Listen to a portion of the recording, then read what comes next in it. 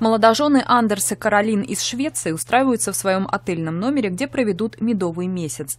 И это место не назовешь заурядным. Здесь они будут жить в окружении морских обитателей.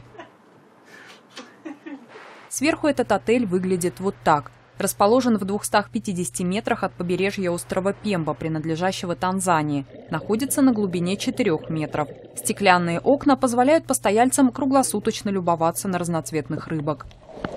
Здесь почти все как в обычном отеле, но вы находитесь под водой. Вместо огней машин и шума улиц вокруг плавает рыба.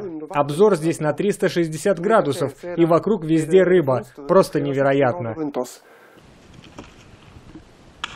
Питание доставляют с ближайшего островного курорта на лодке. Одна ночь проживания в таком отеле обойдется в полторы тысячи долларов за номер. Это удивительно. Здесь везде плавает рыба, и вода очень прозрачная. И видно все не только днем. Ночью здесь включается освещение. Рыба проплывает постоянно, и заснуть почти невозможно. Вы просто спите в окружении рыбы. Некоторые описывают этот отель как аквариум наоборот.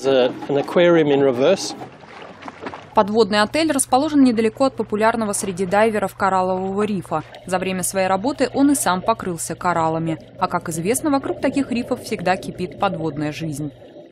В целом, коралловые рифы острова Пемба считаются самыми многообразными в Восточной Африке. Однако и они не смогли избежать влияния изменения климата. Некоторые участки кораллов подверглись обесцвечиванию из-за повышения температуры океана. Еще одна угроза для кораллов – сети и чрезмерный вылов рыбы. Однако вокруг этого отеля рыбацкие лодки не проплывают. В радиусе километра здесь закрытая для рыболовства зона. До строительства подводного отеля три года назад рыбаки здесь свободно занимались промыслом. Это наносило ущерб кораллам, поскольку по дну тянули сети. Теперь ситуация улучшилась. Мы создали здесь заповедную зону. Кораллы восстанавливаются. Также стало больше рыбы.